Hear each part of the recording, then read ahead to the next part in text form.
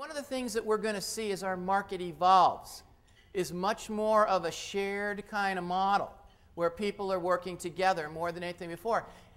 We've got to get rid of these silos.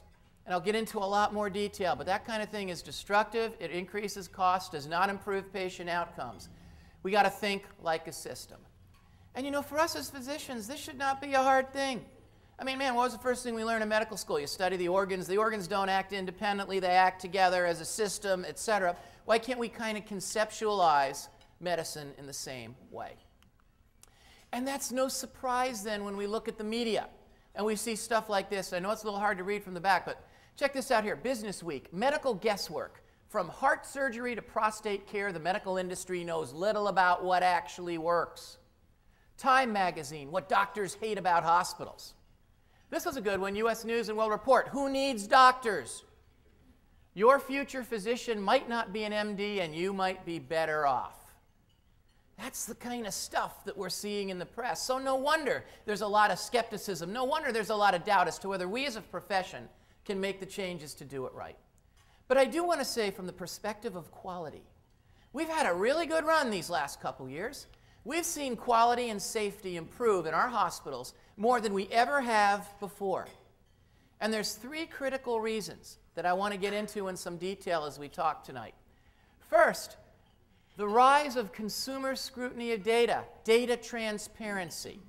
You know, one of the interesting things I really thought about doing tonight, and I, I, didn't do this, but I do it when I go to a lot of other facilities.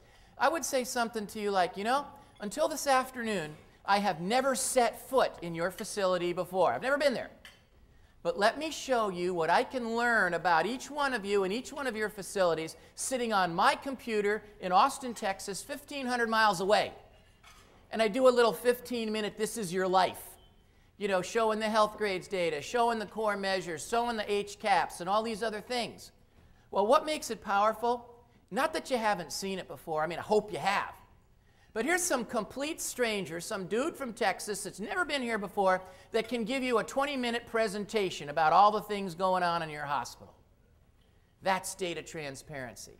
And that's one of the things that's going to truly change our field, as I'm going to show you soon, faster than anything else. Second is many of our effective quality initiatives we already know. We have best practices for many of our common diseases. Many we don't, but many we do. Our problem is not lack of knowledge, it's lack of implementation, it's lack of execution. Even though we've had best practices in heart failure and pneumonia and orthopedic cases, on and on and on, we really have not seen those brought into our hospitals as much as we should have. Our problem is not lack of knowledge, it's lack of implementation.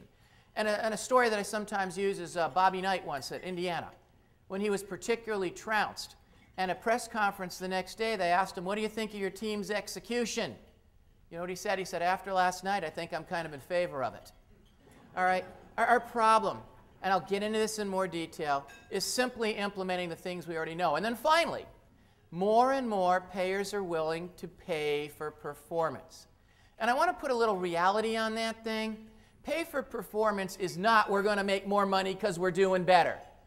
All right, we kind of thought that a few years ago. Remember, even for hospitals, they CMS said the top decile will get 2% more. So all our bean counters going, oh, cool, 2% more. Well, that kind of evaporated, didn't it? And it's not even a break even. Let me tell you something. Pay for performance is our only way of partially recouping some of the cuts that we're going to get. And right now, when you look at pay for performance, at least for hospitals by 2014, there's anywhere between 7 and 10% at risk. I see a similar pattern for physicians. So we've got to be prepared and learn how to do this. So the whole idea, of data transparency, evidence-based practices, paying for performance, kind of unlike what this guy is telling his cat here, we do have to think outside the box a little bit. And we do have to look at different ways of doing a field that we've done for a long, long time.